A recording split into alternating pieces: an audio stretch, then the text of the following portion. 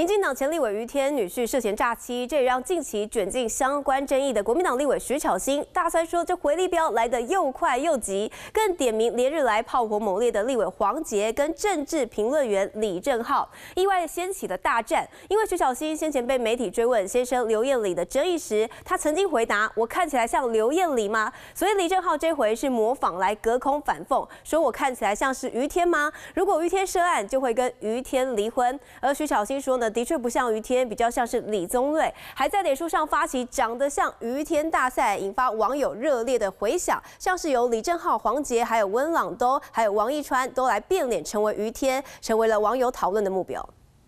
我现在不会看起来太嚣张吧？还好吧。连日来在绿营枪林弹雨中存活，徐巧芯终于露出笑脸，因为听到前立委于天同样卷入家人诈骗案，大三回力标终于来了。如果真的要按照他们的逻辑，要来连连看，现在在这件事上看起来不是非常双标吗？不是一场政治的闹剧吗？见猎欣喜似乎藏不住，还借机公开点名先前炮火猛烈的立委黄杰跟时事评论员。李正浩出来打球，这下掀起大战。若徐巧芯硬要跟于天比较，就请徐巧芯现在马上辞掉立法委员。我跟他结婚是二零一八年的时候，所以你要去问他呀。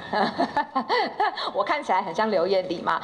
蒙公徐巧芯这段经典发言，李正浩反讽：我看起来像于天吗？我只对我自己负责。还模仿如果于天涉案，我会跟他离婚，甚至还换上旭胡照，搞笑公布第一届长得像于天大赛正式开始。网友笑疯，不少人发起九宫格迷因图，请选出谁是常青树宝岛歌王，引发热烈回响。徐小新也在脸书上暗指李正浩确实不像于天，比较像李宗瑞，但两人。隔空激战，过去可是同为国民党草鞋联盟发起人，至少有十年交情。徐小新被求婚，邀请密友，也能看到李正浩的身影指导。中信立委选举，李正浩还站台对手许淑华，如今两人在各自领域发展，却在涉战案强碰，隔空交火。华新闻刘金、张正杰采访报道。Hello，大家好，我是林文。想要抢先掌握最及时的新闻资讯吗？赶快订阅、按赞、开启小铃铛，锁定华视新闻的 YouTube 频道。